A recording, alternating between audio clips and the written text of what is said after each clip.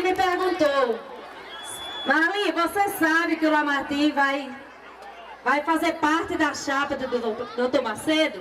Eu falei, sim, doutor Macedo me participou, estou sabendo sim. Ah, mas ele não é doido. Eu falei, muito bem, meu amigo, você falou a verdade. Ele não é doido, ele é inteligente.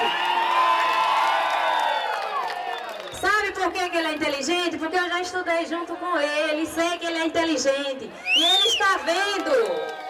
Ele está vendo o progresso de Caracol. Ele está vendo o que Dr. Macedo está fazendo. Então, por isso, ele vai se juntar ao Dr. Macedo para crescer melhor a nossa cidade. E dê o meu abraço a cada um. E até o dia 5 de outubro, na nossa vitória, que essa sim será esmagadora. Muito obrigada.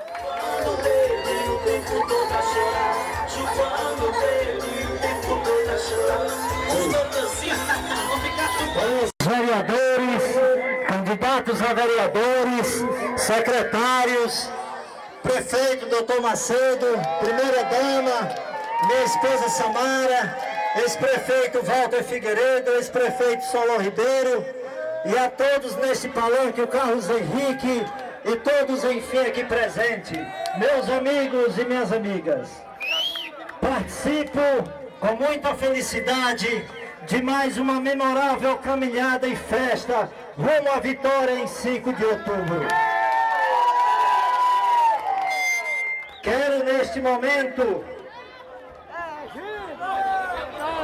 dizer para vocês da minha satisfação, dizer e pedir, vocês vão estar em boas mãos. E muito obrigado, meus amigos.